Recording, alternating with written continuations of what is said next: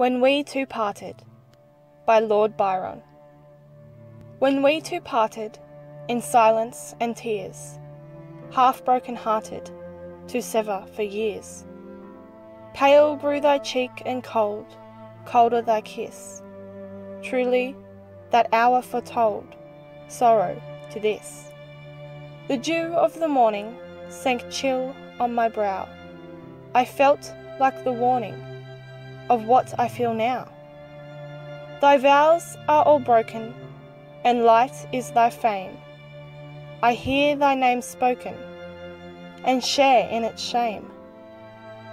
They name thee before me, I kneel to mine ear. A shudder comes over me, why weren't thou so dear?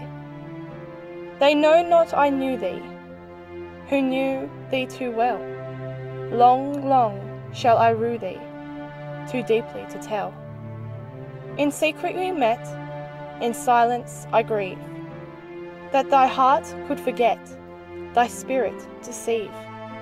If I should meet thee, after long years, how should I greet thee?